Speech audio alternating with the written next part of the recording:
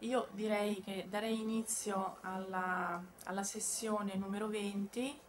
Eh, due parole di introduzione, eh, mi congratulo con tutti gli oratori, eh, ho trovato delle presentazioni molto interessanti, soprattutto utili e rimango sempre positivamente colpita dal fatto di quanto questo GIS sia una disciplina interdisciplinare, cioè di quanto può unire eh, dati, esperienze, mondi completamente diversi.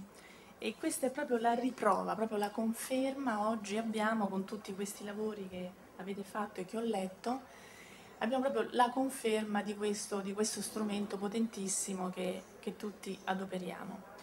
Quindi, senza più indugiare, eh, darei la parola al dottor Maffeis di Terra Aria che ci presenterà un lavoro intitolato CO20 e la pianificazione energetica. Ehm, ah no, scusate, eh, devo fare delle, delle comunicazioni di servizio. La prima è che se tutti gli oratori hanno firmato la liberatoria per essere ripresi, e l'altra è a tutti coloro che vogliono fare delle domande di aspettare il microfono. Scusate. Eh... Allora, ridico il titolo, CO20 e la pianificazione energetica. Prego. Grazie Chairman. Ehm... Allora, oh, scusate.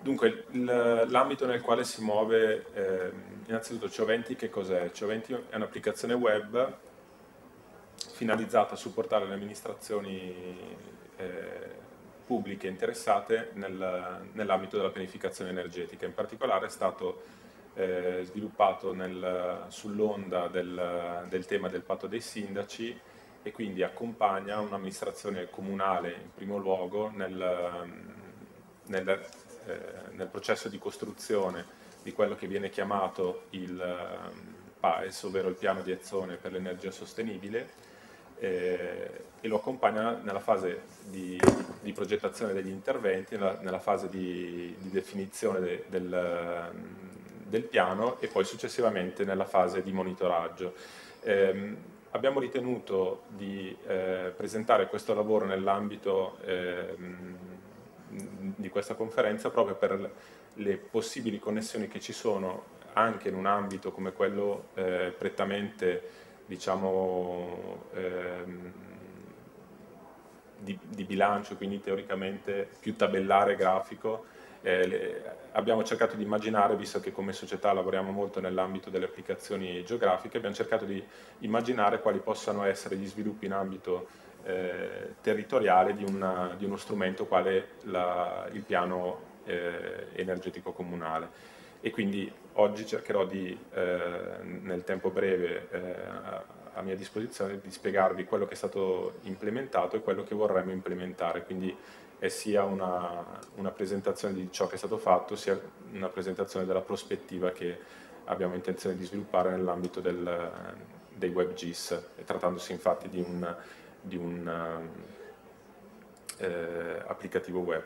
Di, di, fatto questa è la struttura dell'applicativo, dell quindi eh, lo strumento parte da tutta una serie di banche dati che sono a disposizione a livello regionale e nazionale, quindi a seconda del contesto territoriale nel quale ci troviamo, diciamo nel contesto in cui non ci sono informazioni specifiche relativamente alle banche dati energetiche ed emissive si utilizza il, il database di ISPRA, quindi il database delle emissioni eh, nazionali note a livello eh, provinciale, con dettaglio provinciale e con uh, cadenza quinquennale. In altre regioni eh, sono a disposizione degli inventari eh, regionali come INEMAR, che è utilizzato da sette regioni, in altri casi, come quello lombardo da cui siamo partiti, esiste un, un, un sistema informativo regionale che è Sirena, che mette a disposizione dei, eh, delle banche dati, in quel caso proprio energetiche.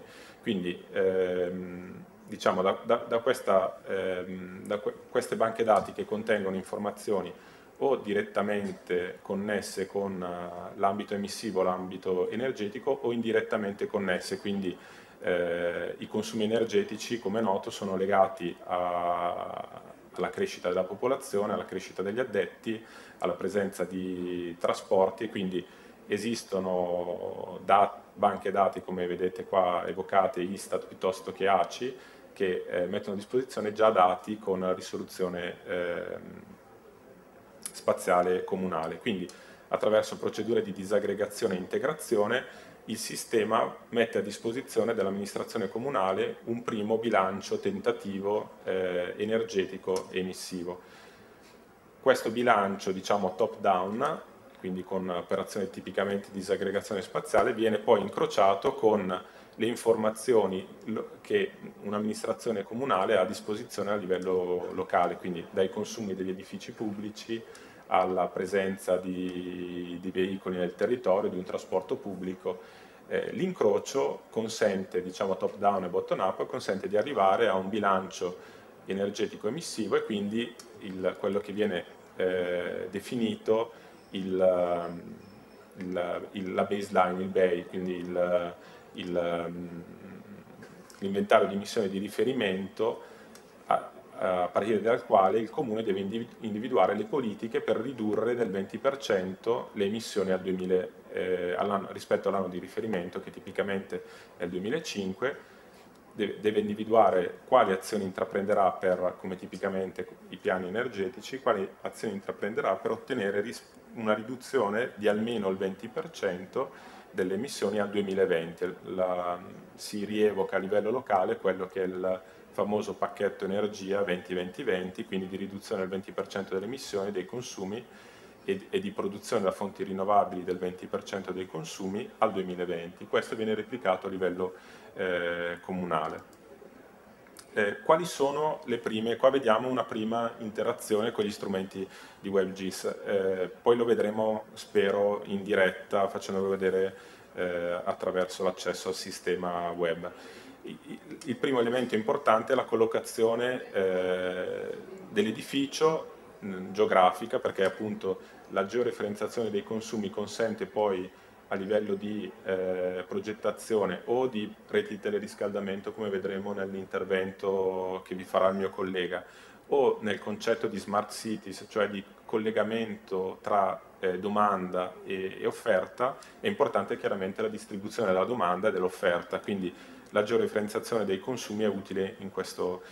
Oltretutto strumenti gratuiti quali, quali Google, mettono, Google Maps ci mettono a disposizione, come vedete qua, attraverso Street View, la possibilità di vedere la facciata di un edificio. È chiaro che non è possibile fare un audit energetico eh, senza andare a eh, fare un sopralluogo, però quantomeno senza nemmeno muoversi dalla propria scrivania è possibile vedere e capire che con che tipologia di edificio abbiamo a che fare.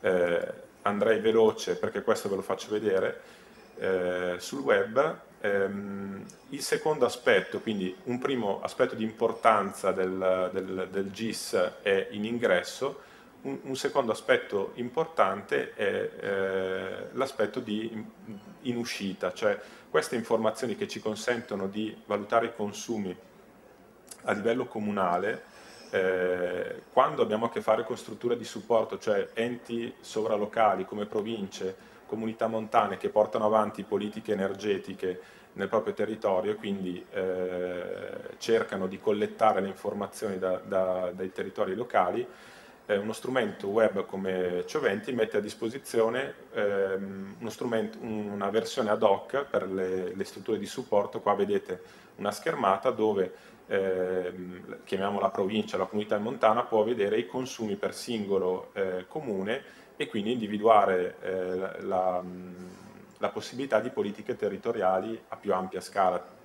Tendenzialmente se vogliamo eh, ragionare so, sulla pianificazione delle fonti rinnovabili, quale la biomassa, ragionare a una scala di bacino e di nuovo vedremo poi una, una presentazione successivamente, è importante vedere consumi e quindi domanda e offerte, in questo caso in termini di biomassa, su una scala più ampia di quella del singolo comune.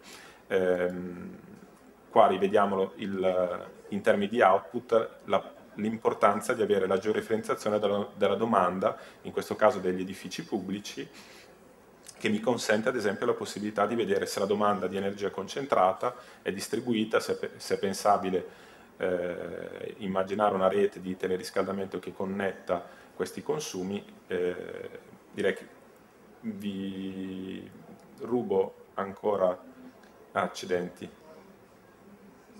è già aperto, sì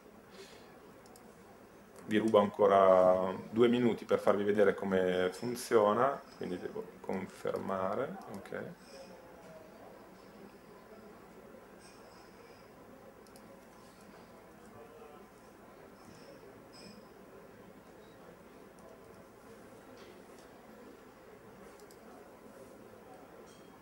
Quindi sostanzialmente un comune si, si connette a questo applicativo con la sua username e con la sua password.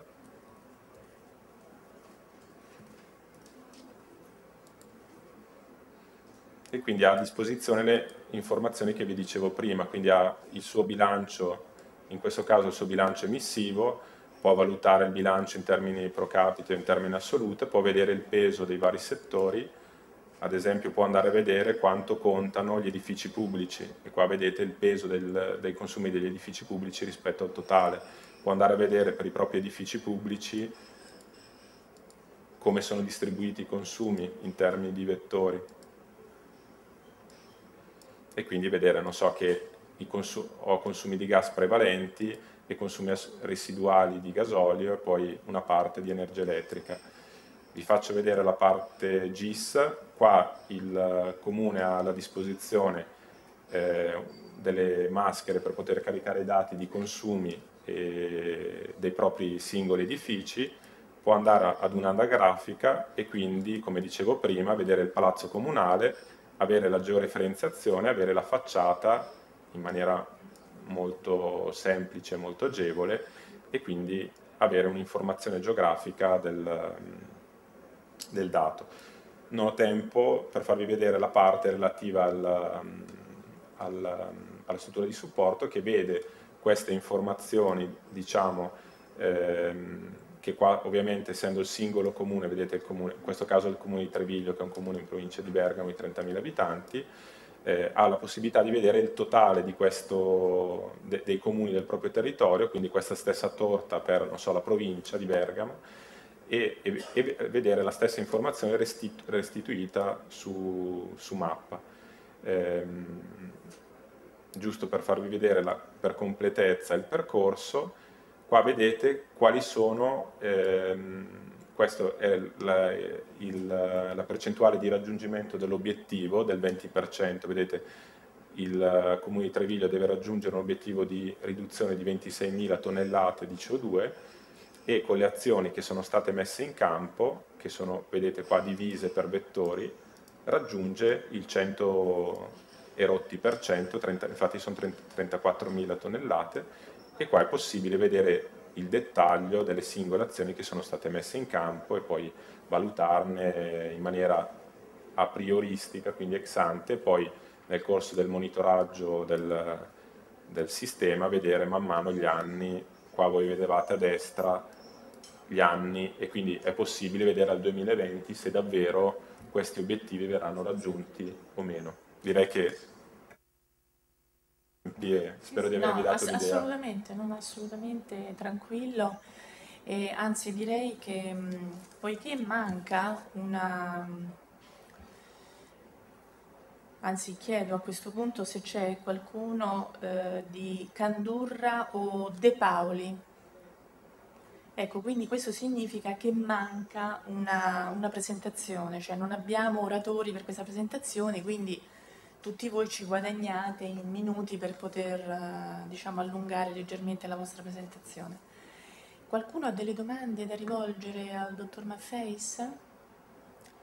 In questo caso dobbiamo aspettare comunque il microfono, nessuno deve fare domande, io ce l'ho una bella domanda, cioè volevo sapere i dati dove voi avete reperito eh, insomma questa bella messe di dati che mh, per noi che lavoriamo in questi campi veramente sappiamo che è un lavoro molto pesante eh, il recupero dei dati. Prego. Allora, il, come la, la, domanda è assolutamente centrata perché è chiaro che queste, questi strumenti sono molto utili nel momento in cui le informazioni sono, sono a disposizione, altrimenti sono delle scatole molto belle ma vuote. Eh, diciamo, il Coventi si basa su due, due eh, possibili alimentazioni delle informazioni.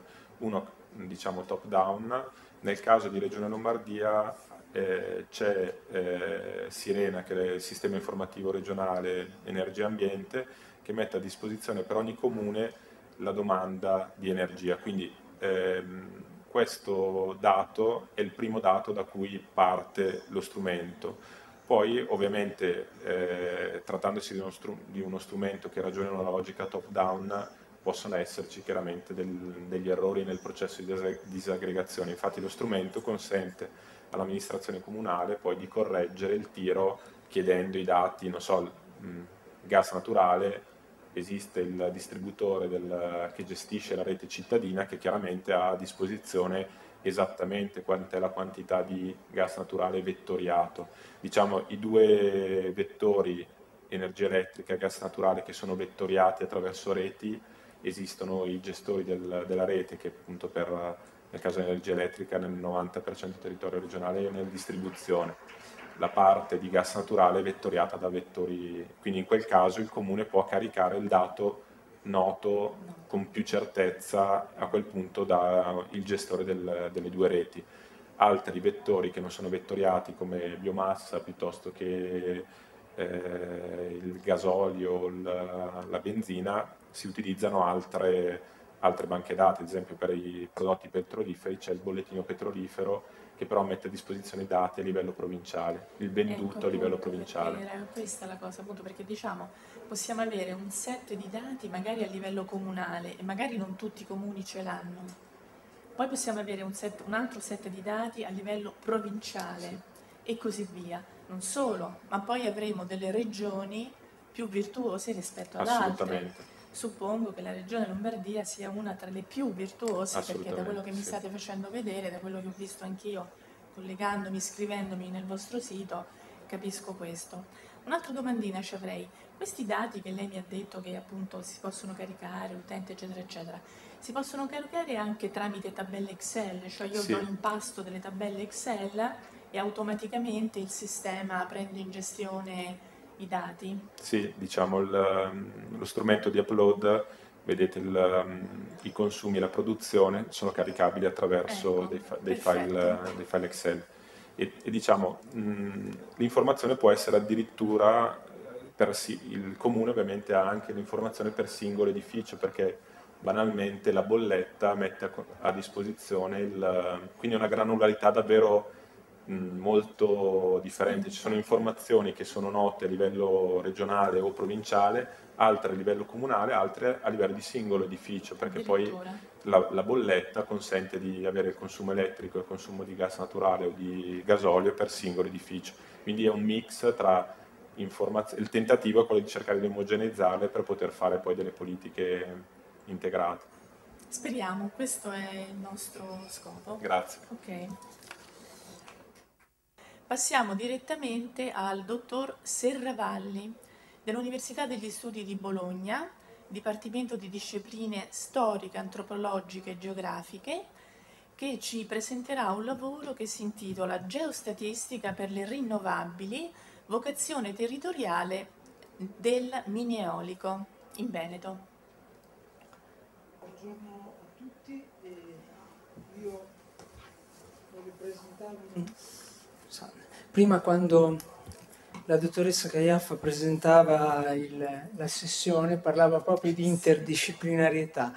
E un po' il tentativo che diciamo, noi abbiamo cercato di fare, nel senso che eh, l'approccio che noi abbiamo nell'utilizzo degli strumenti, dei sistemi informativi geografici, è proprio come strumenti a supporto delle decisioni, quindi come strumenti di analisi multicriteriale e nel caso specifico è proprio uno strumento per gestire una forma di conoscenza, per comprendere sempre di più il territorio, per cui di fatto eh, le applicazioni sono veramente limitate all'immaginazione che noi eh, abbiamo e la fantasia che noi possiamo mettere in campo come persone. Il eh, caso specifico che io voglio presentare si inserisce in un progetto un po' più ampio di analisi sulle vocazioni territoriali a quello che è la green economy in generale, cioè le potenzialità derivanti dal territorio eh, e l'individuazione di eventuali distretti naturali particolarmente vocati all'utilizzo di eh, mix energetici rinnovabili.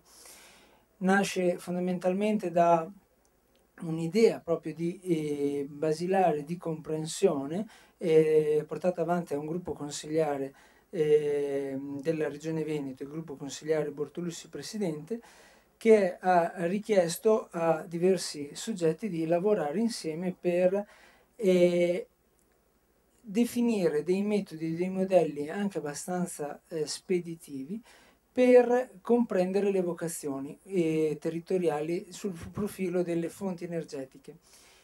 L'altro discorso eh, che va in premessa, che è importante, e quindi quello che io vado a presentare è una, eh, una branca che è quella specifica dell'matching, di incroci, di elaborazioni di dati volte al eh, mini eolico in particolare. Però il progetto è stato più ampio, quindi con metodologie chiaramente diverse, eh, ha affrontato eh, le diverse fonti energetiche rinnovabili, per poi vederle poi mixate e vedere e i potenziali distretti e gli eventuali mix energetici.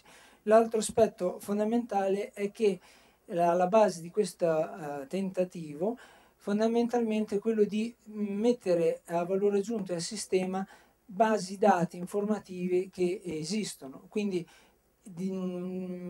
quello che l'output che viene generato fondamentalmente è uno strumento di supporto alle decisioni a livello di programmazione regionale, questo intende essere, non è certamente uno strumento esecutivo perché non sono stati fatti eh, monitoraggi o eh, analisi specifiche sui posti, anche perché i costi ovviamente sono estremamente ampi parlando di un territorio così, così vasto.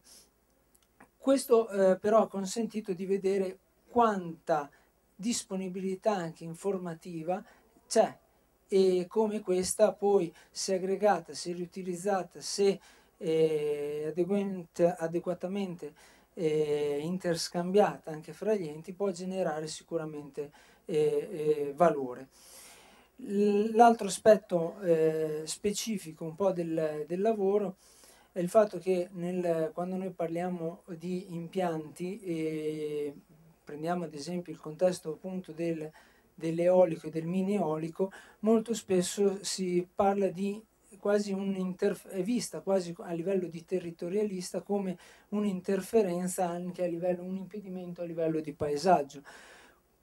Quando è anche vero che però molti paesaggi eh, storici conosciuti hanno sempre eh, avuto, eh, si sono sempre confrontati, l'azione dell'uomo si è sempre confrontata con, ehm, con eh, in un certo modo la realizzazione di opere energetiche. È chiaro che eh, c'è la facile correlazione fra pala eolica, mulino a vento, ma anche ad esempio tutto quello che riguarda l'idrico in generale, per cui abbiamo testimonianze in diversi paesi eh, o dalla letteratura o dall'arte, penso paesaggi di Rembrandt, dove i famosi eh, mulini o le pale costituivano e costituiscono un, un elemento eh, profondamente integrato e, e, peculiare che forma il paesaggio. Detto questo, il, il lavoro fondamentalmente, come dicevo, è partito dall'individuazione e dalla geocodifica di fonti eh, dati e basi dati esistenti. In particolare eh, abbiamo nel caso specifico di questa analisi, di questo settore di analisi, abbiamo preso in considerazione le reti di monitoraggio eh, dell'ARPAV eh, che sono disponibili in maniera pubblica e che ehm, sono sia in serie storica sia eh, anche con dati diciamo real time fino a 6-7 mesi di storicità. Per cui è anche possibile come abbiamo cercato di fare di ricalcolare le variazioni. Mi spiego meglio. Il, eh, molte di queste fonti eh, derivano da finalità diverse. Nel tempo sono state acquisite tantissimi sensori centraline volte prevalentemente al monitoraggio della qualità dell'aria, per capirsi, ma che hanno eh, tra le dotazioni ad esempio anemometri o altri strumenti appunto per la rilevazione e la misurazione anche del vento. Chiaramente più o meno precisi, più o meno tarati e quindi mantenuti anche, anche nel tempo, però fatto sta che sono eh, elementi di fatto presenti, sensori sul territorio che possono fornire dati. E, e questa rete, anche qui più o meno distribuita, è su tutto il territorio nazionale, per cui riguarda tutte le regioni, per cui eh, può costituire sicuramente un elemento importante per avere delle eh, macroanalisi. L'altro aspetto specifico legato al eh, mineolico è che mentre anni fa è stato fatto eh, dal CESI una, un Atlante legato all'eolico e relativamente al mineolico non c'è nulla. Questo eh, anche per ragioni eh, evidenti, nel senso che eh, a parte il discorso della eh, programmazione territoriale, il eh, mineolico si scontra eh, con anche delle caratterizzazioni che possono incidere in maniera pesante, pensiamo a un, un, urbano, a un edificato, eccetera, che possono anche variare sensibilmente, ad esempio il vento medio, e quindi spostare per un discorso eventualmente di implementazione, quindi di dare eh, esecuzione, installazione a un impianto, a una, a una pala, eccetera, spostare anche in maniera determinante un 20, un 30% il rendimento stesso della pala, per cui è sicuramente una, un, tema, un, tema, delicato.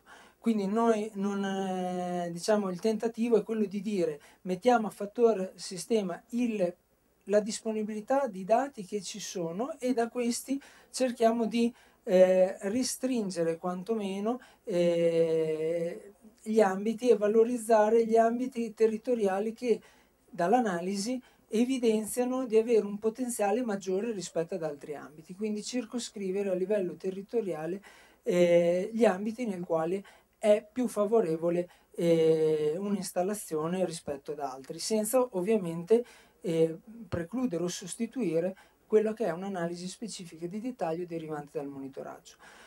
Questo ha portato anche chiaramente a un, a un confronto con i dati eh, del CESI e, e, quindi anche a una validazione del, eh, di quanto abbiamo eh, cercato di esprimere. Il, esistono, il primo livello dove, che abbiamo affrontato è stato quello di mappare eh, tutte le centraline di monitoraggio che sono presenti che forniscono indicazioni sui venti medi a livello storico, dal 2004 al 2008 ad altezze generalmente di 10 metri, quindi a un'altezza estremamente bassa. Oggigiorno si parla di impianti addirittura con, eh, eh, ci sono già aziende che fanno aquiloni che producono eh, energia per andare in alta quota e mh, mm, a, a, centinaia di metri di altezza. Qui invece stiamo parlando di una, eh, un contesto decisamente più urbano, più eh, integrato anche a un eventuale sviluppo eh, urbano edilizio. Il, poi eh, abbiamo, mh, mm, ci siamo posti il problema che il discorso dei 20 metri e delle raffiche, comunque il, anche lo stesso intervallo di, eh, temporale 2004-2008 poteva essere un po' eh, eh, creare un po' qualche eh, diciamo eh, errore anche dal fatto che ultimamente abbiamo visto anche il clima anche eh, decisamente si è modificato. E quindi eh, abbiamo mh, cercato di affiancare a questi dati tutta una serie di altri elementi che venivano elaborati e quotidianamente eh, riversati su un sistema pubblico da parte dell'ARPA, accessibile, e dal 26 agosto al 24 ottobre 2011 abbiamo acquisito questi, questi, dati, queste informazioni in maniera puntuale e specifica, per cui eh, in maniera da allineare quasi a livello territoriale e integrare queste due fonti informative. Ora, l'approccio che è stato fatto è stato non quello tanto di dover dimostrare eh, una bontà o una intensità di vento tale per installare impianti, ma abbiamo cercato di prendere in considerazione tutti gli elementi cautelativi proprio e riduttivi nel cercare di abbassare il più possibile il potenziale che poi dopo veniva dall'interpolazione di questi oggetti.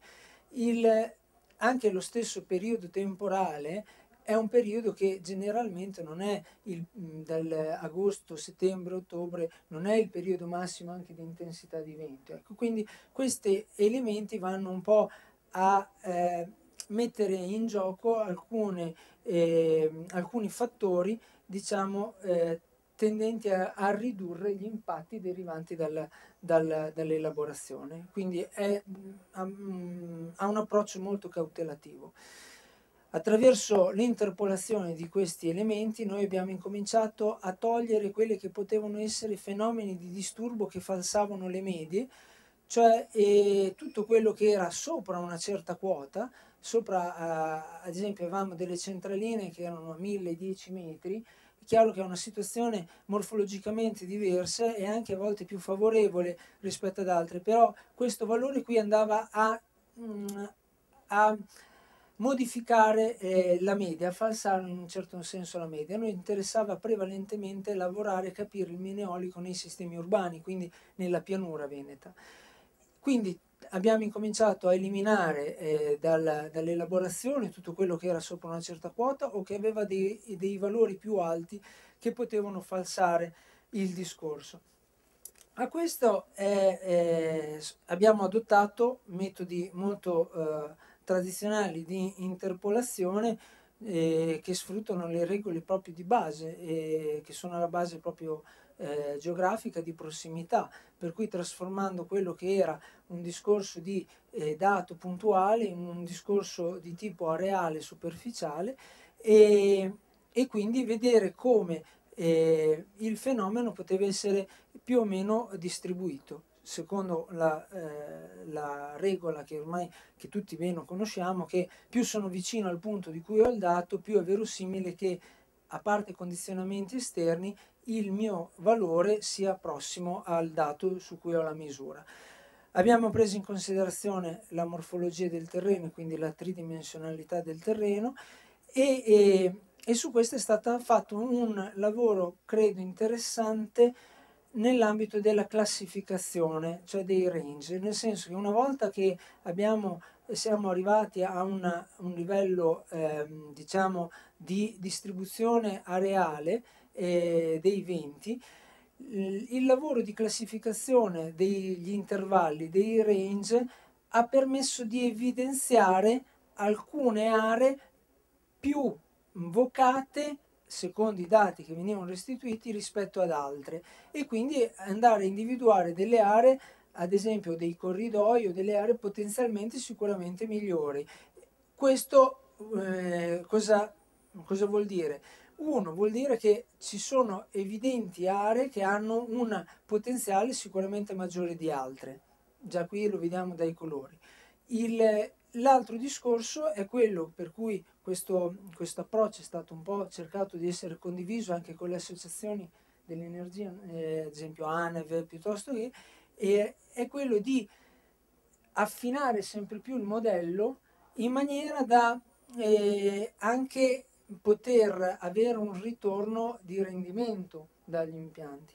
L'altro, aspetto che sarebbe molto interessante su questo mh, abbiamo segnalato anche la cosa tramite eh, l'ANEV anche a livello ministeriale era quello di dire eh, cerchiamo di sfruttare questa eh, potenzialità che noi abbiamo dei sensori sparsi sul territorio e che nascono per determinate finalità ben specifiche ma che hanno un potenziale anche su altre cose. Questo è un po' il percorso. Grazie.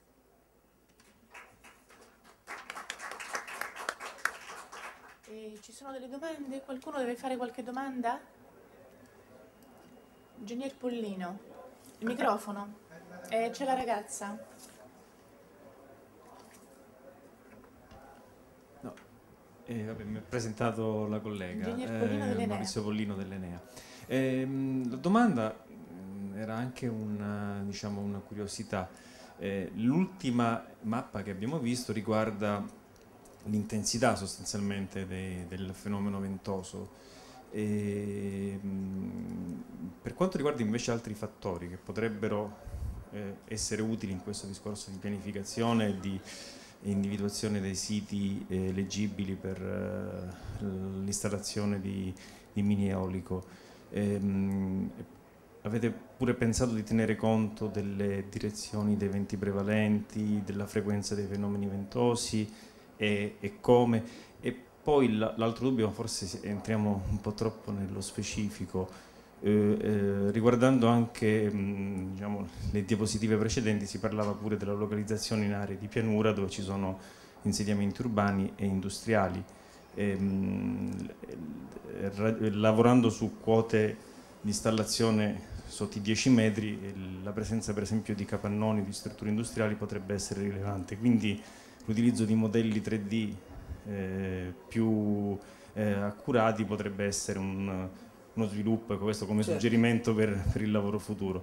Però questa, l'ultima parte era un suggerimento, la prima invece era una curiosità. Sì, ecco, sì. Guardi, eh. il, eh, quando si parla proprio di eh, interdisciplinarità dell'utilizzo del, di questi sistemi, lo stesso dato, quindi non è che fonte medesima, lo stesso dato nella stessa zona, noi l'abbiamo utilizzato in un progetto eh, di ricerca epidemiologica per l'asma in età pediatrica nell'area di Verona, perché queste stazioni qui, che nascono per altre finalità, di fatto hanno anche l'orientamento, la direzione del vento, quindi registrano anche questi, questi fenomeni qui. Nel caso specifico nostro noi non l'abbiamo preso, abbiamo preso il punto senza dare eh, direzioni. Scendendo nel dettaglio, eh, come abbiamo fatto nel caso di un altro progetto su Verona, in quel caso lì il dato dava proprio delle, eh, degli elementi proprio di direzione eh, dei venti, anche di simulazione perché abbiamo la tecnologia ci supporta in questo, è, è, è possibile ecco, rappresentarli perché ci sono. Cioè questi elementi, questi sensori distribuiti sul territorio di fatto sono un patrimonio incredibile, per cui anche solo il fatto di poter avere accesso e poter sempre più rendere eh, collaborativa ecco, la, eh, il trasferimento, l'utilizzo, offrono veramente un potenziale enorme. Quel dato lì c'è. Sì, sì, la logica che c'era eh, stata chiesta in questa fase qui era quella più a livello territoriale, che aveva anche l'obiettivo di incominciare a sovrapporre eh, le, le, diverse tipologie energetiche per vedere se c'erano dei distretti particolari, per cui dalle biomasse al, al mini idro, al mm, mini eolico, al solare, eccetera.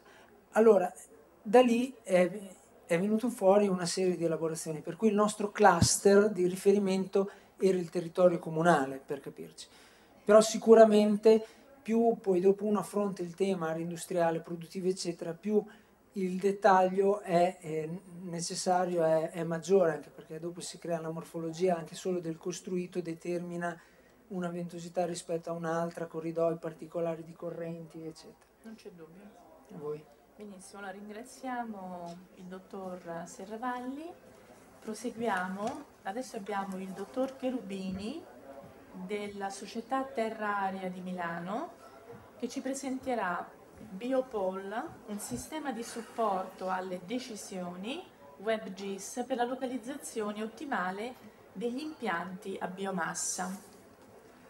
Buongiorno a tutti, oggi eh, presenterò eh, l'applicativo online Biopol, appunto uno strumento di supporto alle decisioni per la localizzazione ottimale di impianti a biomassa atti ad, a servire una, rete, una piccola rete di teleriscaldamento.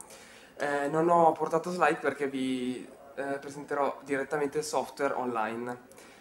Eh, dopo essersi iscritti verrà fornita username e password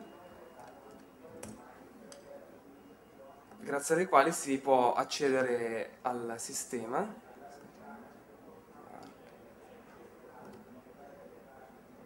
scusate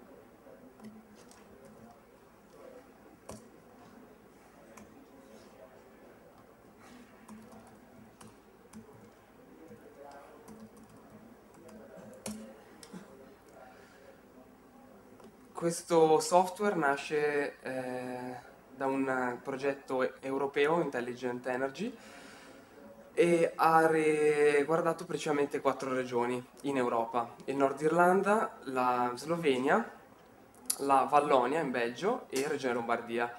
Oggi come caso studio guardiamo la Regione Lombardia. Una volta cliccato sul, sulla mappa, sulla regione di interesse, si apre la home page vera e propria di Biopol in cui è possibile effettuare quattro principali operazioni. La prima è la visualizzazione della quantità di biomassa in termini sia di massa, quindi in tonnellate, sia di energia, quindi in kilowattora, che è disponibile sul territorio possiamo selezionare appunto alla nostra destra eh, le, eh, le, diverse tipologie di biomasse che vogliamo rappresentare, possiamo prendere sia le singole specie sia, eh, sia l'intero gruppo, sia per gli impianti a combustione sia per eh, degli impianti a digestione anaerobica che chiaramente usano scarti agricoli, eh, scarti, scarti industriali eccetera. Zoomando su una regione possiamo visualizzare col tool apposito in una cella di eh, un chilometro per un eh, chilometro la quantità di massa, e, eh, di massa presente per ogni eh, categoria di biomassa presente in quella cella. La seconda operazione è quella di eh, visualizzare la domanda di calore del eh, territorio. Questa operazione può essere fatta sempre selezionando alla nostra destra i diversi settori che richiedono questo calore, che sono residenziale, industriale e terziario. Carichiamone per esempio solo due così non è troppo pesante possiamo anche in questo caso con, la, con l'apposito tool visualizzare la quantità di calore in megawattora richiesta dal territorio. In questo caso eh, la domanda di calore è visualizzata su una griglia eh, avente eh, eh, lato di eh, un chilometro, cioè su una griglia formata da celle a 20 gradi eh, lato un chilometro. L'ultima, operazione è quella di visualizzare appunto i risultati dell'intersezione fra queste due, fra fra queste due informazioni, ovvero la eh, vocazione del territorio ad ospitare impianti a biomassa. Eh, sono, stati, sono stati considerate cinque tipologie di impianti 2 a combustione e 3 a eh, digestione anaerobica. Cliccando su ciascun impianto possiamo appunto vedere sempre su eh, una griglia eh, ventilato 500 metri, possiamo visualizzare la vocazione di un'area eh, ad ospitare impianti. Cliccando su ogni singola cella possiamo visualizzare un indice di sostenibilità, eh, di, ogni, di, ogni, singolo impianto. Eh, cos'è questo indice? Questo indice è l'aggregazione di eh, tre sottoindici che sono qui elencati, che sono la mh, popolazione coinvolta nell'area eh, di costruzione dell'impianto, il rapporto fra offerta e domanda che ci indica in qualche modo il surplus di eh, offerta che abbiamo di biomassa sul territorio, quindi più è alto più eh, la sicurezza dell'approvvigionamento è migliore. L'ultimo indice è la distanza fra l'impianto e la zona di raccolta della biomassa. L'aggregazione tramite dei pesi eh, di questi tre indici porta all'indice complessivo di sostenibilità che va da 0 a 1, chiaramente 0 è il caso diciamo a minor appetibilità e 1 eh, il caso a eh, maggior appetibilità. Biopol è stato pensato principalmente per due tipologie di utenti. Il primo è un pianificatore a scala vasta, quindi pianificatore a scala regionale, in cui ehm, c'è infatti, grazie a questo software, egli può eh, vedere anche grazie solamente tramite a dei colori, se non vuole scendere più a scala di dettaglio, la vocazione di un'area o, o, di una zona del territorio all'installazione di impianti. Questo è anche facilitato da dei tool appositi, eh, in particolare eh, si può appunto cercare il massimo, eh, il massimo valore dell'indice di eh, mh, sostenibilità presente sul uh, territorio e quindi da, da qui dare appunto eh, magari nelle linee guida pianificatorie e eh, programmatiche degli indirizzi eh, sulla eh, pianificazione energetica. Eh, è possibile utilizzare questo strumento anche a scala locale, diciamo quindi più a, a scala comunale, Infatti eh, un pianificatore comunale può zoomare sull'area di interesse e in questo modo può vedere sul territorio, anche cambiando la, eh, la mappa che ha, eh, che ha come sfondo, si può, può appunto capire la localizzazione eh, abbastanza in eh, dettaglio, seppure di massima, eh, del, dell'impianto, la quantità di biomassa, in questo caso siamo in un territorio montano, quindi andrà a localizzarsi principalmente sui, eh, sui pendii delle vallate, la biomassa e la domanda di calore che eh, si svilupperà intorno ai eh, centri urbani, quindi nel eh, fondovalle. Eh, oltre all'indice di sostenibilità, eh, Biopol fornisce anche una, ehm, una, stima della potenza massima installabile in eh, ciascuna cella. Sempre con, eh, se, selezionando uno dei cinque impianti considerati, possiamo col tool di informazione cliccare su una cella e visualizzare la potenza in megawatt teoricamente installabile in quella cella. È inoltre possibile eh, visualizzare dei, mm, degli esempi virtuosi di eh, impianti già installati eh, con potenza e caratteristiche tecniche simili a quelli, eh, a quelli selezionati. In ultimo è possibile effettuare una simulazione personalizzata di eh, impianti, infatti eh, l'utente può scegliere la tipologia di impianto da mm, considerare, la tipologia di biomassa che, mm, che vuole appunto sfruttare in questo impianto.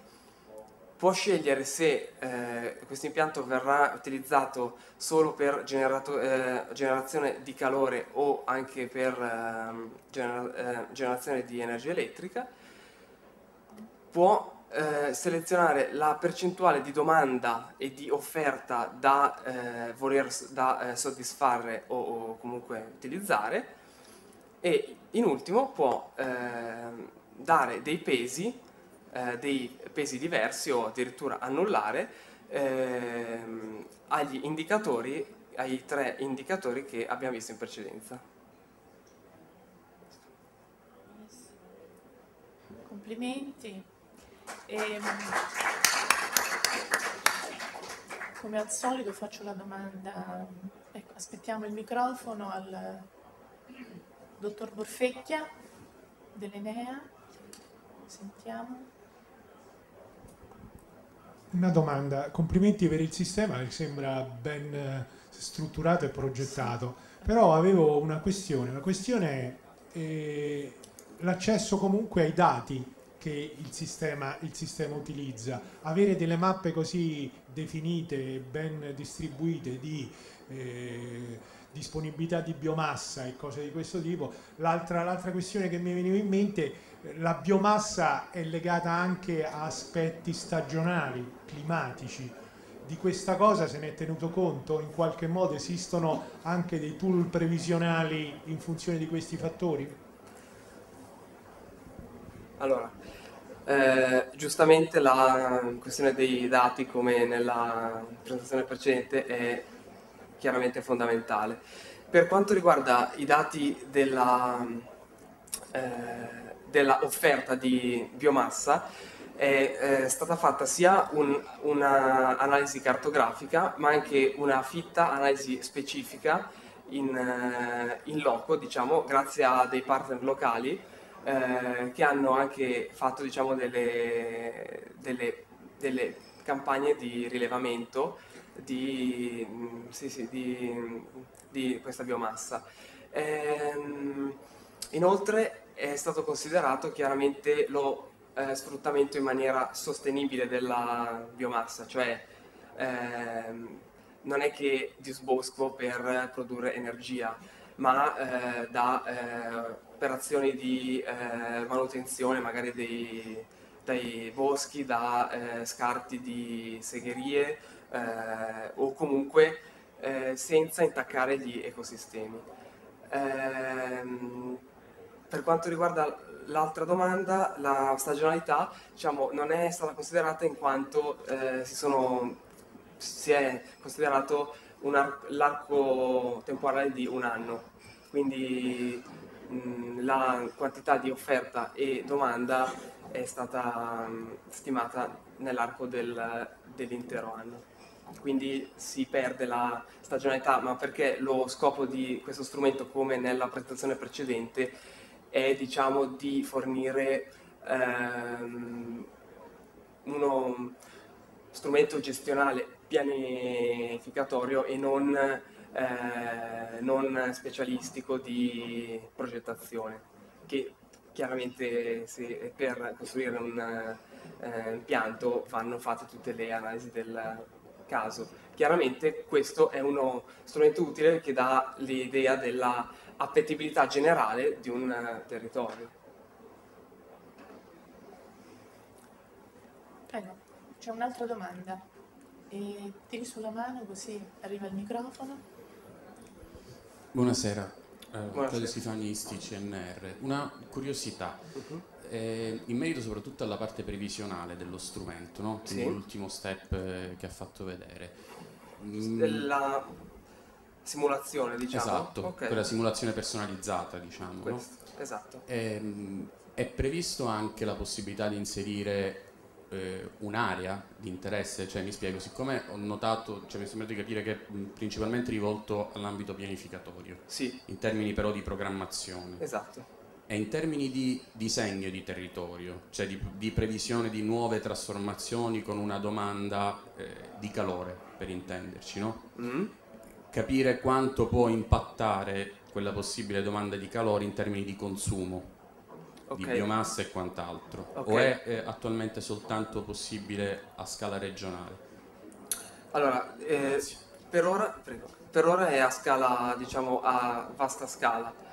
Eh, la simulazione viene fatta sull'intera area, poi chiaramente se a uno, se a uno interessa il comune particolare zoom e vede la situazione in questione.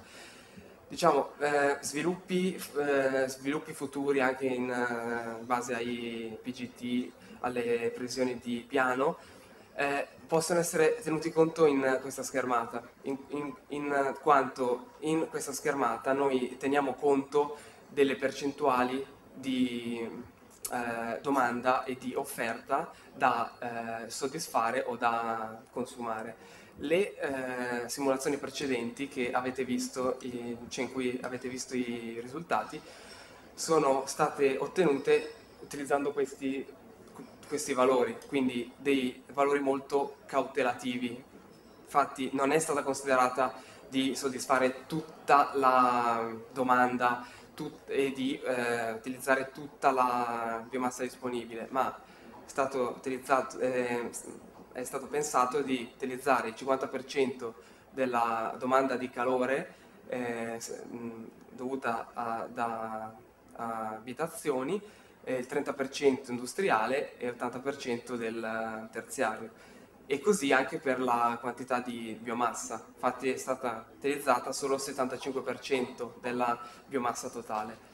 Quindi si potrebbe tener conto giocando mh, con questi indici, con uh, queste percentuali.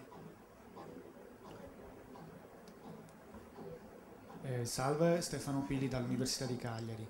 Eh, forse mi sono perso un, un momento, no, no, quindi faccio una domanda. Sì. Ma mh, eh, la parte di domanda di calore, eh, come è stata stimata, divisa nei tre settori? È, è, stata stimata grazie a dei dati, ehm, cioè grazie a, a, banche dati disponibili eh, da, enti, da, enti, da enti preposti.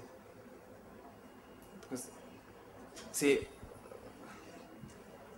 integro, nel, nel caso di, di, Regione Lombardia c'è a disposizione appunto come dicevo prima un sistema informativo regionale che è Sirena che mette a disposizione a livello comunale i dati di domanda suddivisa per terziario, residenziale e industriale, quindi in quel caso c'era a disposizione un dato di domanda comunale che poi è stato disaggregato sulle celle che vedevate 500 x 500 in base all'uso del suolo eh, e alla presenza di edifici o meno. Nel caso al delle altre tre regioni europee, i partner, eh, partner nazionali che hanno partecipato a questo progetto hanno fornito accedendo a banche dati differenti in funzione del, della tipologia, diciamo, so, la, vi faccio l'esempio della Slovenia, sono partiti da, dal catasto degli edifici e hanno assegnato dei consumi eh, in kilowattora per metro quadro ad ogni singolo edificio. Per gli, in base all'attività industriale hanno assegnato un consumo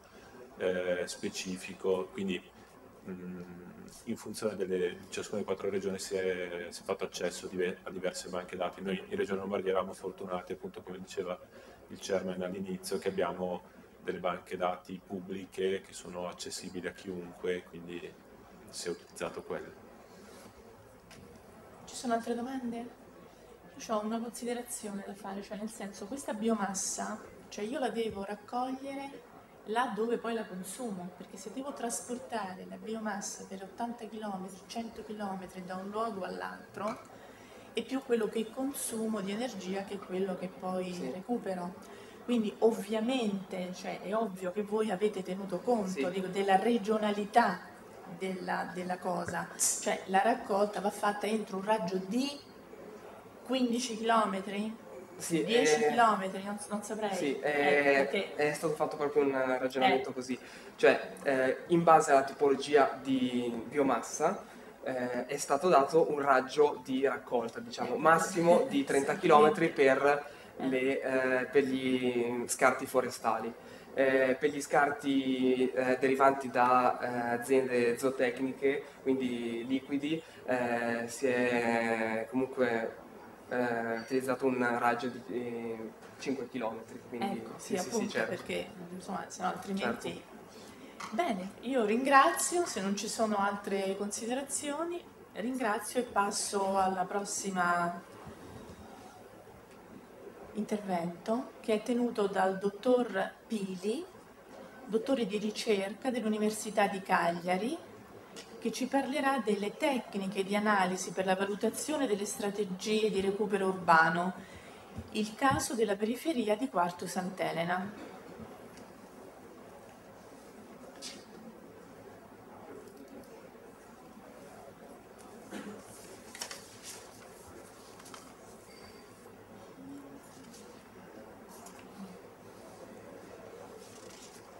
presentazione. e presentazione. Eh, grazie. Eh, questo è, il, um, è, l'inizio di un lavoro di ricerca che si basa su, sulle ricerche um, effettuate durante il, um, il PhD eh, di Stefano Pili, che sono io, e del dottore, della dottoressa Valeria Saiu. Ehm, queste due ricerche si, si basavano da una parte sulla, sulla definizione della, della qualità, della, della, sostenibilità dell'ambiente urbano e dall'altra parte sulla definizione di un tool per la, il calcolo della prestazione energetica degli edifici basato sulla uh, 11300. Eh, un cenno sul concetto di processo di riqualificazione sostenibile degli edifici che tiene in, um, da conto una serie di aspetti, così come ci suggerisce anche la, la comunità europea con i recenti eh, programmi per il 2020 e eh, come suggerito da una serie di protocolli di valutazione della sostenibilità eh, ambientale, sociale, economica dell'insediamento alla scala di quartiere, alla scala dell'edificio e anche di quartiere. Eh, l'obiettivo della, della, ricerca che ci siamo posti è quello di cercare di strutturare un approccio che vada alla scala urbana e che utilizzi i dati disponibili o facilmente ottenibili eh, sul territorio. Eh, l'ambito di studio è l'area di Quarto Sant'Elena. Quarto Sant'Elena è questo in rosso, questo qui è Cagliari, per, per chi non conoscesse in Sardegna. Come potete vedere il, um, il, tessuto di Quarto Sant'Elena si estende lungo la costa ed è questa zona tra questo lago e, il, um, e lo stagno e si possono individuare un, una serie di tessuti eh, fortemente riconoscibili nella periferia a causa delle, delle lottizzazioni, essenzialmente dell'espansione. Eh, I dati disponibili perciò eh, erano quelli delle, dei piani di lottizzazione depositati nei comuni, eh, presso, presso, il comune. Eh, utilizzando questi dati eh, si è cercato di eh, effettuare una valutazione alla scala urbana e una valutazione alla scala edilizia per quanto riguarda la sostenibilità dell'insediamento. Per la valutazione alla scala urbana si, mh, si, cercheranno degli indicatori per valutare la qualità dello spazio pubblico, inteso come disponibilità di verde e di servizi, il grado di connessione territoriale vari, vari, delle varie lottizzazioni, diciamo, eh, con eh, le principali assi viari, e eh, la mixità sociale dei quartieri ritenuta un elemento fondamentale per la sostenibilità e la qualità e la vivibilità dei luoghi. E dal punto di vista della, eh, della scala edilizia, in questo momento ci si è valutati la valutazione dell'efficienza energetica degli edifici.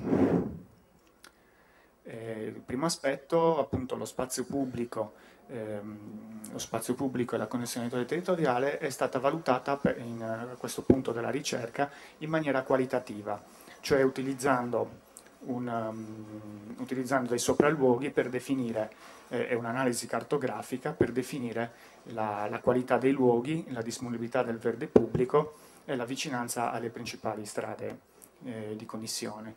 In futuro si svilupperanno dei, dei tool più, ehm, più, automatici per questo tipo di, eh, di, valutazione.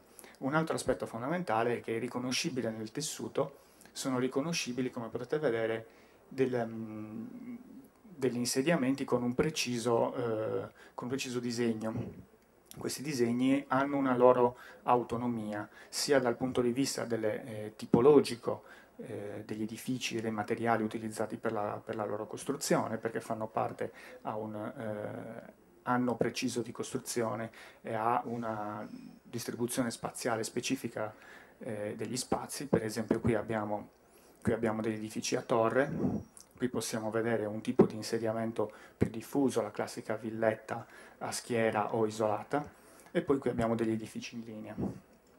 Questi aspetti caratterizzano sia il tipo di popolazione che vive in questi eh, quartieri che naturalmente le prestazioni energetiche degli edifici come vedremo in seguito.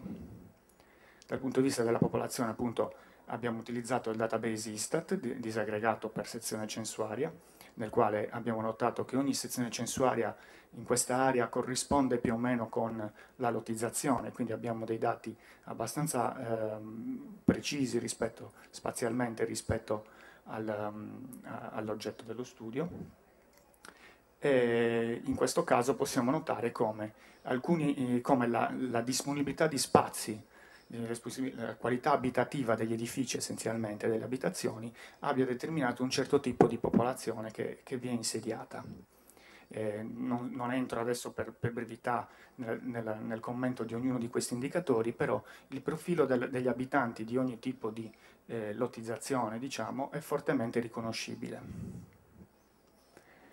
Per valutare la, la scala edilizia, la, la sostenibilità alla scala edilizia, abbiamo cercato un, un, indicatore abbastanza sintetico per definire la qualità dell'involucro. Eh, non siamo entrati nel, nella definizione degli impianti perché per avere dei dati riguardo agli impianti è necessario eh, un, un'attività di rilievo molto più approfondita. Quindi di utilizzando semplicemente le, eh, la cartografia vettoriale a disposizione essenzialmente e un tool di geoprocessing da noi sviluppato, noi sviluppato siamo stati in grado di calcolare il coefficiente globale di scambio termico per trasmissione in base alla 11300. Eh, la formula è questa eh, che potete vedere qua su, essenzialmente la moltiplicazione delle superfici disperdenti dell'edificio, facciate, coperture, eh, base al suolo, finestre, per le rispettive eh, trasmittanze. Le trasmittanze sono note perché eh, noi abbiamo i progetti di, approvati in comune per quanto riguarda i, mh, i piani di lottizzazione. E, e, le superfici eh, disperdenti sono state calcolate con un tool GIS. Eh, il tool GIS funziona essenzialmente in tre, in tre fasi. La prima fase eh, definisce del, i punti esterni agli edifici utilizzando un semplice buffer e poi l'estrazione del punto medio poi le superfici esterne vengono definite utilizzando delle query spaziali basate sull'altezza degli edifici, combinando questi punti esterni e eh, il poligono dell'edificio. Qui potete vedere riassunti quindi i dati di ingresso del calcolo, le geometrie degli edifici sono date dai, dai progetti depositati e dalle cartografie vettoriali essenzialmente. La superficie finestrata è sempre stata eh, desunta dai progetti depositati L'attenzione di temporaneo è lo stesso uh, dei progetti depositati, materiali sempre definiti per tipologia e progetti. Il numero di piani, poiché non sempre il progetto depositato, eh, abbiamo notato che non sempre il progetto depositato aveva un, una distribuzione dei volumi uguale a quella che in realtà era presente, perché spesso era solo parziale, era solo definita la tipologia e non la completa distribuzione della, della, de, dei volumi sulla mappa, al che abbiamo, abbiamo integrato questi dati progettuali con l'osservazione tramite uno strumento web eh, come Bings Map, che nel caso di Cagliari fornisce anche le, le, le, la, la vista tridimensionale. In questo caso possiamo già ottenere delle informazioni per il progetto della riqualificazione energetica, come per esempio potete vedere come le dispersioni termiche si distribuiscano in maniera diversa a seconda della tipologia edilizia tra, v, eh, tra il vano, il vano, le, i muri verso i vani scala che non sono riscaldati nel caso del, dei climi temperati come quelli di Cagliari generalmente, le coperture, il basamento le, e, e le finestre. Abbiamo anche valutato quanto si discostasse ogni tipologia edilizia rispetto a una, um, ipotizzando che eh, l'involucro avesse eh, la trasmittanza prevista attualmente per la costruzione di un edificio quella prevista dalla, dalla normativa attuale, eh, vedendo come alcune, di, alcune, tipologie si discontassero maggiormente e altre, eh, e altre meno. Questo naturalmente è solo una fase della ricerca iniziale che mostra come dati di natura diversa possono essere letti assieme, un po' come si fa per, per, le, per gli indicatori di qualità e di sostenibilità dei quartieri proposti anche a livello europeo il, abbiamo idea che questo, che questo, approccio per layer possa essere sviluppato anche per altri tematismi, tra i quali anche eh, la possibilità e l'utilizzo, eh, diciamo la, la, la, potenzialità d'uso delle diverse eh, fonti energetiche rinnovabili, un po' come è stato proposto a livello regionale diciamo, precedentemente. Eh, oppure temi di tutela del paesaggio, di integrazione paesaggistica. Eh, la creazione di layer georeferenziati in, una, in, una, eh, in un ambito assolutamente di interoper interoperabilità, interoperabilità, di dati permette eh, di aumentare la conoscenza che può essere fornita al pianificatore. Eh, lo studio per tipologia edilizia permette poi la facile generalizzazione in ambito urbano e quindi eh, ottenere una, defini una, definizione piuttosto dettagliata del, del, fabbisogno termico, come si parlava precedentemente. Eh, si parla per ora di fabbisogno netto e non di, eh, di, di, EPI o di EPI PGL in questo caso perché non abbiamo gli impianti ovviamente. Ehm, e può essere utilizzato anche per valutare scenari alternativi, cambiando per esempio, eh, ipotizzando eh, politiche di facilitazione per la sostituzione degli, degli infissi o politiche di integrazione sociale um, o quello che può essere eh, ipotizzato nell'ambito della pianificazione sostenibile in, in ambito urbano. Nel, um, comunque l'inizio della, della, della, della, ricerca che si sta indirizzando in queste direzioni. Grazie. Ringraziamo. Qualcuno ha delle domande da fare?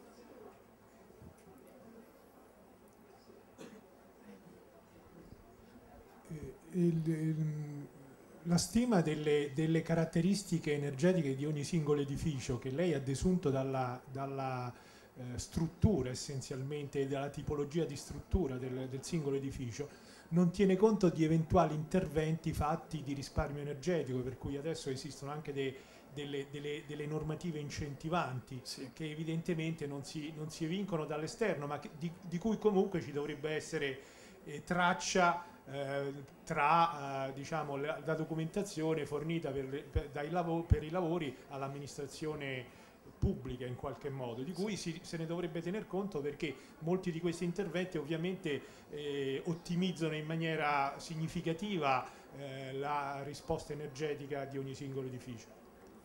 Allora, su questo aspetto, eh, quando è stata costruita, mh, quando stato, ci siamo addentrati nei, da, nei database, diciamo, nel, nei, tra i faldoni della, della, della pubblica amministrazione, ehm, abbiamo avuto la possibilità di avere alcune di queste pratiche, ehm, di poter visionare alcune di queste pratiche. Eh, però il, mh, diciamo, il limite di questo, di questo aspetto è che non è facilmente, eh, cioè l'amministrazione in sé non ha, non ha attualmente, almeno Partu Sant'Elena, la possibilità di legare in maniera, ehm, in maniera, automatica queste due informazioni, nel senso che eh, nell'archivio diciamo, storico noi abbiamo ottenuto informazioni abbiamo, eh, circa i piani di lottizzazione, quindi le strutture di base che sono state eh, utilizzate in, questo, in, queste lottizzazioni.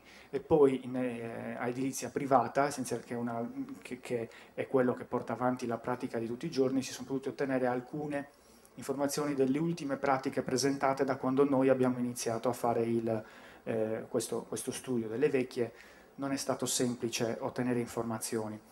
Esistono però dei database eh, per esempio quello Enea delle, delle, delle, non a caso, eh, eh, del 55%, dove ci sono informazioni circa i consumi, il, mm, il, una sorta di certificazione energetica eh, completamente eh, inserita. E con, eh, integrando quei dati che a questo punto sono noti per unità abitativa e non, so, non, solo per edificio. A questi dati per edificio si può cercare di avere un'informazione che comunque sarà sempre un po' mosaicata all'interno dell'edificio perché non tutti eh, portano avanti questa, questa, la riqualificazione energetica essenzialmente.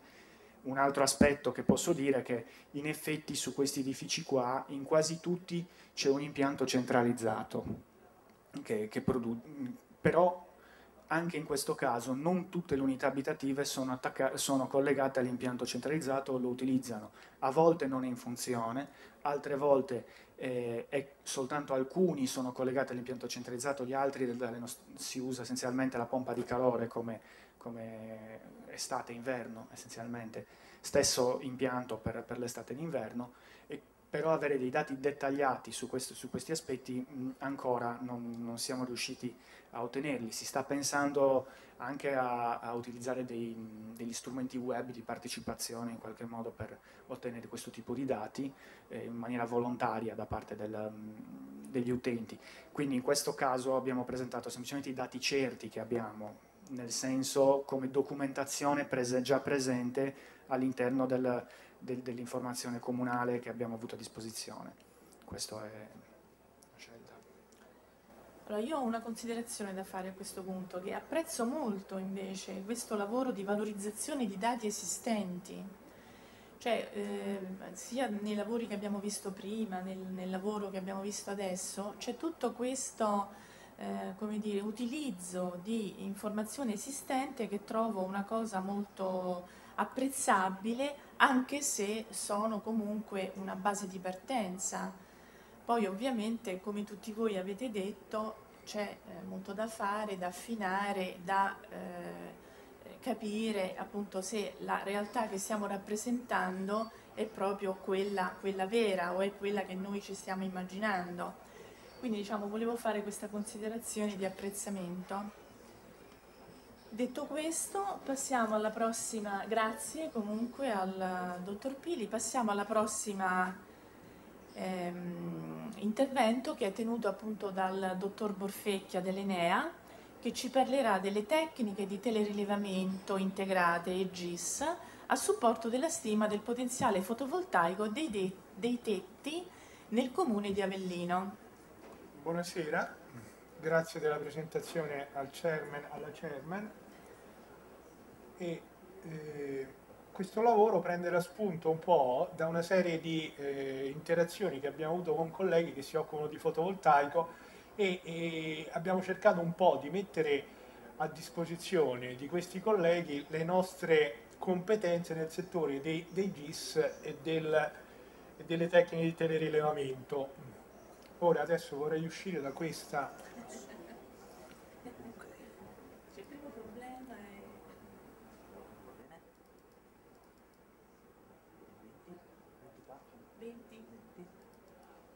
Ecco.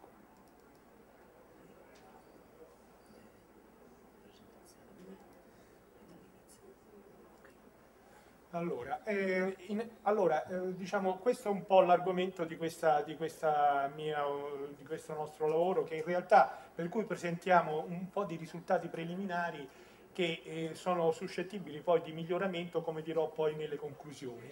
Ora ehm, andiamo avanti. Ora, fotovoltaico, qualche elemento di generalità sul fotovoltaico. Il fotovoltaico, come sappiamo, eh, praticamente è un, uh, un, modo di produrre eh, energia in modo alternativo direttamente dal sole, in modo pulito e per cui ci sono state tutta una serie di incentivazioni del, del, a livello nazionale per riuscire a recuperare un po' il, il, ritardo accumulato nei confronti anche di altre nazioni meno favorite di noi. A partire dal 2005 in effetti ci sono stati degli incentivi pubblici per, eh, diciamo, l'ampliamento del fotovoltaico e come vediamo poi attualmente c'è stato sempre un aumento a partire dal 2005, aumento eh, che è praticamente stato normato da vari atti legislativi denominati eh, conto energetico, tant'è che attualmente siamo una potenza installata dell'ordine di 12 gigawatt di picco col quarto eh, conto energetico terminato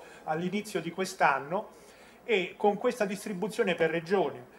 Eh, 12 gigawatt di, eh, di, di picco installato praticamente ci avvicinano molto alla Germania che ha qualcosa dell'ordine di 17 gigawatt elettrici e grosso modo questa energia prodotta equivale a quella di di, di due centrali nucleari della vecchia generazione, tanto per non dimenticare il passato impegno nucleare dell'Enea.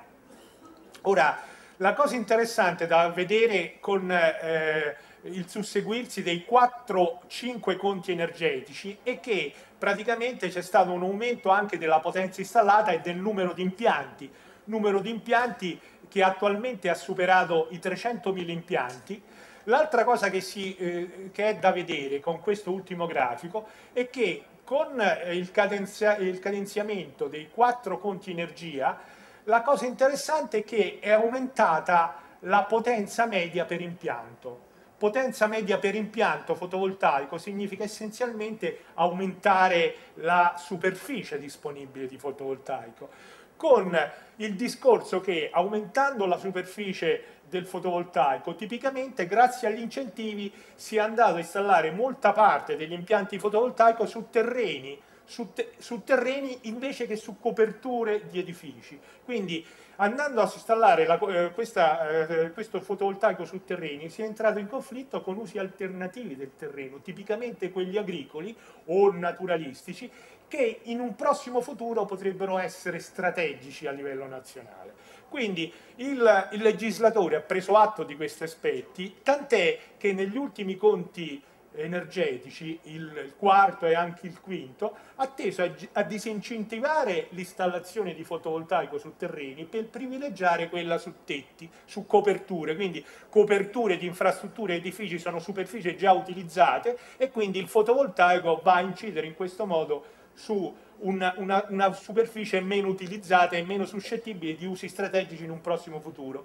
Tant'è che nelle ultime, nelle ultime conti energetici addirittura c'è stato l'abbinamento dell'installazione del fotovoltaico con il, la problematica di rimozione dell'amianto, che è un'altra problematica molto rilevante. Ci sono de degli incentivi aumentati addirittura per l'abbinamento dell'installazione fotovoltaica con la rimozione dell'amianto. Ora, fotovoltaico. Il fotovoltaico è, eh, come ben noto, una tecnologia pulita, pulita fino a un certo punto, però diciamo che nella sua vita non, non rilascia essenzialmente eh, gas climalteranti come gran parte dei combustibili fossili, salvo poi il problema dello smaltimento a fine vita. Per il fotovoltaico quindi è stato molto diffuso a livello europeo, addirittura a livello europeo praticamente eh, ci sono addirittura delle, eh, delle de, eh, si è creato un, un, sito dedicato al supporto del fotovoltaico, c'è un sito PVGIS che eh, sfrutta anche la tecnologia GIS per fornire a tutte le utenze del fotovoltaico una serie di servizi, servizi che come sappiamo eh, sono servizi che eh, attengono a problema per esempio del, eh, eh, diciamo, di tutta la serie di fattori che influenzano il fotovoltaico. Prima fra tutti che cos'è? Il fotovoltaico, la superficie fotovoltaica dipende dall'irradianza solare e dal suo assetto, ovviamente più la superficie è perpendicolare ai raggi solari più aumenta la potenza, quindi c'è un problema di assetto essenzialmente dovuto anche all'altezza del Sole variabile durante l'anno e durante il giorno. C'è un problema di torbidità atmosferica, ovviamente laddove l'atmosfera è più torbida, ovviamente aumenta la componente diffusa, diminuisce la componente diretta con un decremento netto della, della, della disponibilità e della, della potenza prodotta. Ora, eh, abbiamo detto che sono, sono eh, privilegiati i tetti in ambiente urbano. Il problema dell'ambiente urbano eh, è che, sebbene i, tetti sono più disponibili perché c'è una concentrazione di abitazione, c'è un problema che l'ambiente urbano è molto eterogeneo e questa è una cosa ben nota ai telerilevatori dal punto di vista della riflettanza, dal punto di vista delle diverse tipologie di superfici riflettenti, de delle diverse strutture 3D molto, molto rilevanti dal punto di vista della protrusione verso il cielo, con schermatura reciproca. Quindi da questo punto di vista noi ci siamo focalizzati sul, sul, sul comune di Avellino perché, perché avevamo a disposizione una banca dati LIDAR eh, sul, sull'intero comune di Avellino. Questo ci ha permesso di maniera di mettere a punto una serie di procedure per tener conto in maniera molto precisa di tutti questi serie di fattori in ambiente urbano.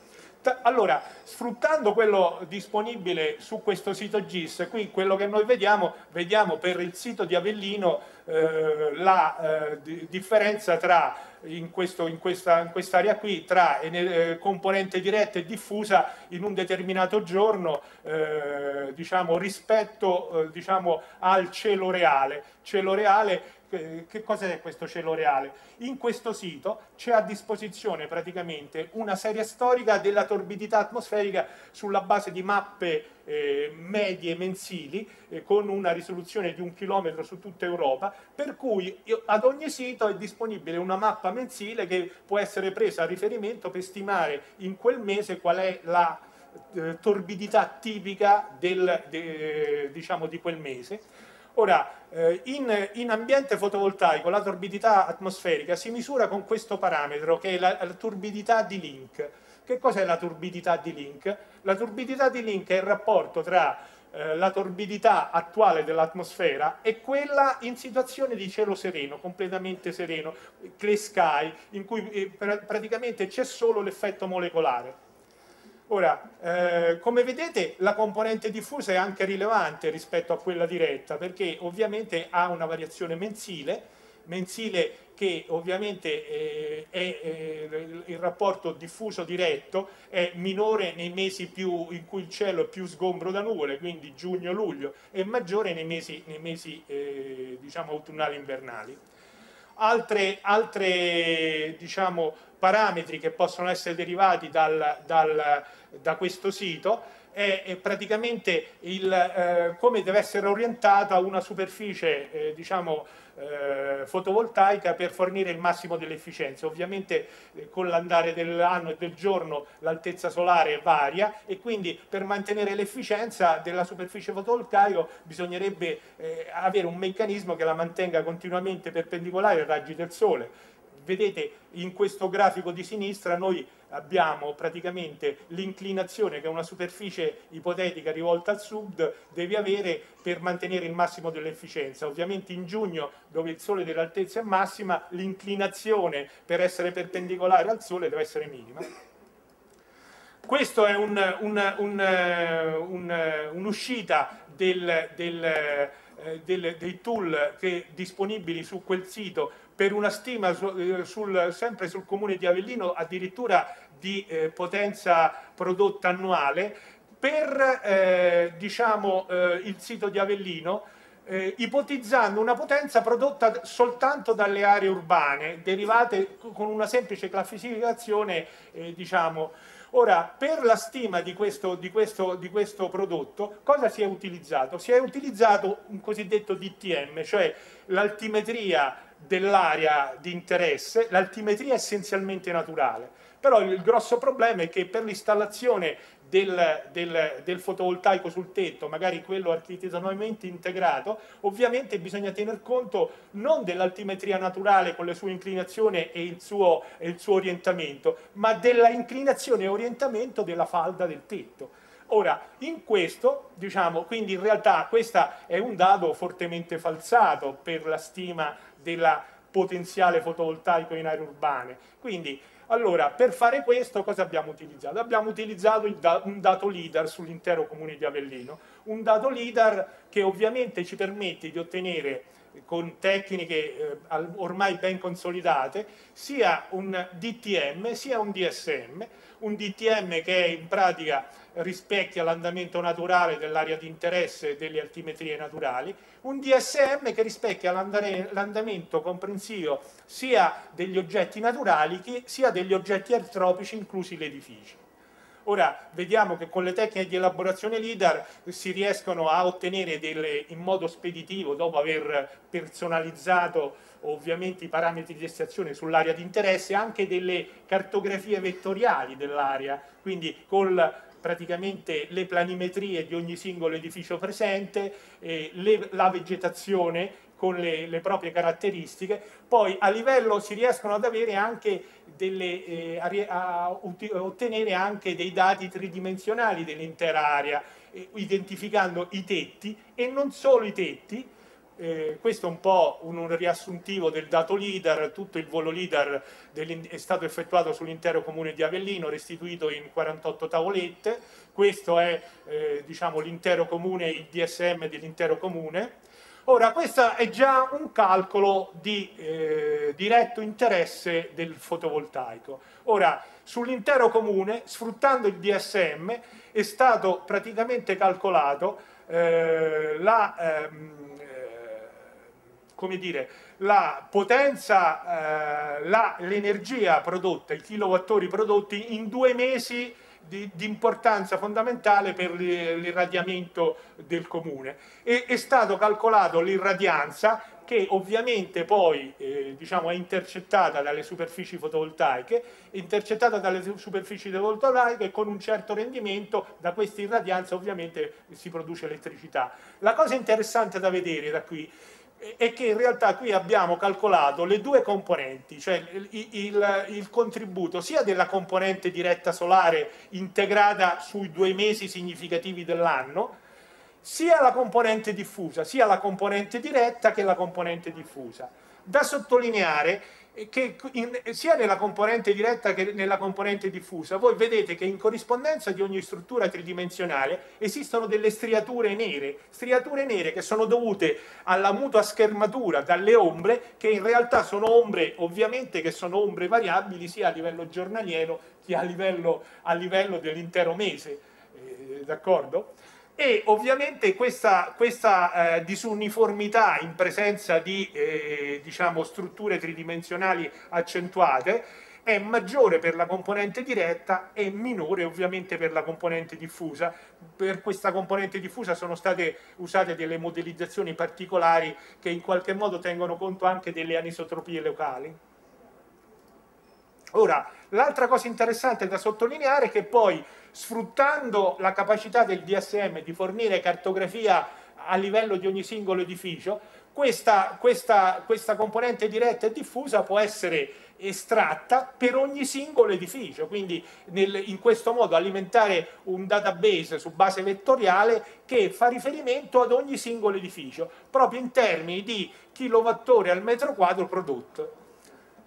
Ora, eh, l'altra cosa da rilevare che abbiamo avuto modo di eh, mettere in evidenza con questo lavoro è che in realtà eh, questo eh, aspetto va particolarizzato per ogni singola copertura eh, se, voi immaginate le coperture con le due falde, ovviamente la, eh, dire, la, potenzialità fotovoltaica di una falda è nettamente diversa dall'altra, dato in realtà i diversi orientamenti e esposizioni della singola falda.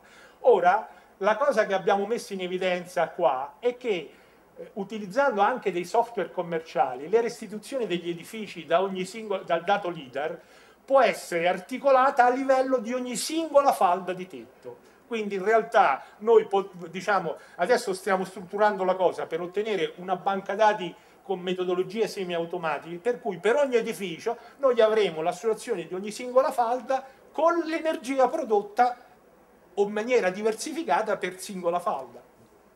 Ora, qui in questa in quest'area voi vedete che in realtà dal dato LIDAR con poche elaborazioni si riescono a estrarre le singole falde di edificio. Ora, l'altra cosa interessante da mettere in evidenza è che praticamente oltre alla componente diretta e alla componente diffusa, per il fotovoltaico c'è un'ulteriore componente che sebbene minore delle altre due può essere significativa in un ambiente urbano. Oltre alla radianza diretta del Sole, alla radianza diffusa dall'emiciclo atmosfera, eh, d'atmosfera intorno alla superficie fotovoltaica, c'è anche una componente che deriva dalla, eh, dall'albedo, dalla riflessione sugli edifici, sugli edifici circostanti, d'accordo?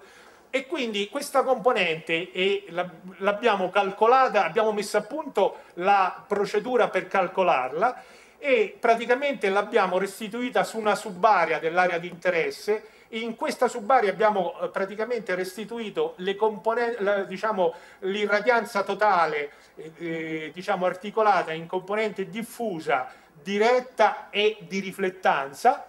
E praticamente eh, da questa leggenda che purtroppo non si vede, si vede che in questo particolare caso, in questa particolare situazione che si riferisce giorno, a un giorno di luglio del 2012, praticamente abbiamo che la componente diciamo, riflessa assomma a un terzo di quella diffusa, che è anche un contributo rilevante eh, in un calcolo molto più preciso del potenziale fotovoltaico. In, in, questo, in, questo, caso abbiamo utilizzato come mappa di albedo dell'intero comune di Roma una mappa di albedo da, derivata da, un, da, un, da, una ripresa Landsat. Secondo un modello è possibile calcolare eh, una mappa di albedo sull'intero range spettrale di interesse utilizzando dei modelli disponibili in letteratura. Ora, questo potrebbe essere ulteriormente raffinato perché questo è relativo alla situazione che, eh, diciamo, al passaggio Landsat, che è una situazione del, de, di primo mattino e quindi praticamente non si riesce a tener conto completamente dell'anisotropia dovuta alle strutture tridimensionali in ambiente urbano. Per questo contiamo di agire utilizzando invece altri sensori diciamo, che, eh, che, dispongono di viste multiple dell'ambiente urbano che permettono di inserire le anisotropie dovute a, a questa, diciamo, che sono insite poi nell'albedo in funzione dello zenith solare. Ora, prospettive, praticamente diciamo, utilizzando diciamo, degli strumenti integrati di tipo GIS e di telerilevamento sia attivo che passivo si riescono a supportare in maniera efficace tutta una serie di eh, esigenze del fotovoltaico che vanno dalla mappatura diciamo, più eh, diciamo, dettagliata della qualità dell'aria a livello urbano, perché non ho detto prima che in realtà a livello urbano esistono ancora delle problematiche specifiche di trasparenza, e quindi di eh, supportare più adeguatamente questa diffusione del fotovoltaico basata sulle eh, coperture, soprattutto in ambiente urbano. Altra cosa interessante, LIDAR innovativi, per esempio qui faccio riferimento a un LIDAR che eh, è in sviluppo, capace di aumentare di circa un fattore 10 la densità dei punti effettivamente rilevati a terra, quindi questo permetterebbe di rilevare molto più dettagliatamente le, eh, diciamo, gli assetti delle superfici fotovoltaiche potenzialmente utilizzabili per il, per, in un prossimo futuro. Ho finito. io ringrazio il dottor Borfecchia, veramente un vulcano, ci ha dato una messe di informazioni veramente in un tempo straordinario. E qualcuno vuole fare delle domande? Eh, c'è un minimo di discussione, mi dispiace, siamo in ritardo di Dieci minuti, prego. Devo fare solo una riflessione generale. E il microfono. Ci sono. Sì. La riflessione generale è che c'è una regione che in questi giorni eh, è stata un po' da parte, per conto suo, la vediamo poco, importante come la Toscana. E quello che è la maggiore presenza energetica in Toscana, che sostanzialmente è la geotermia, 20% almeno, è scomparsa da Asita. Una domanda è, si può in qualche modo capire come e perché questo e può essere questo eventualmente rivisto in un altro contesto? Che cosa può dire qualcuno che è interessato a queste problematiche in termini di energie rinnovabili, tipicamente italiane, producibili e integrabili, sostenibili da contributi di vario tipo? Io non ne ho sentito più parlare. Scusate l'introduzione e l'intromissione, grazie. Guardi, io ovviamente non sono in grado di poter rispondere a questa domanda. Quello che le posso dire è così, diciamo, la mia sensazione. Cioè il problema della, di questo sfruttamento di tipo di energia è molto locale, è molto locale, molto di nicchia, molto industriale. Noi qui siamo dei poveri tecnici, scienziati, ci possiamo definire scienziati, che tentiamo di trovare modi nuovi per eh, diciamo, eh, come dire, approvvigionarci di questa benedetta energia che tanto ci fa dannare. C'è modi nuovi per inquinare di meno, consumare di meno, eh, per non bruciare più petrolio. Cioè siamo molto diciamo, schillati su quest'altro tipo di problema. Lì la vedo più una cosa di sfruttamento industriale molto particolare, molto locale di quel territorio con tutta la dignità, con tutto, per carità, con tutto eh, il rispetto, come posso dire, per quel tipo di energia gratis, eh, tra virgolette, insomma gratis tra virgolette, eh, però ecco, ripeto, diciamo, siamo su, forse su due piani, quello che mi viene in mente da dire è che siamo su due piani diversi, ecco, era questo. Guardi, io purtroppo devo chiudere la sessione perché siamo in un ritardo spaventoso e non è neanche corretto per il collega che viene dopo di me. Quindi ringrazio tutti e ci vediamo quest'anno, non so. Speriamo. Speriamo.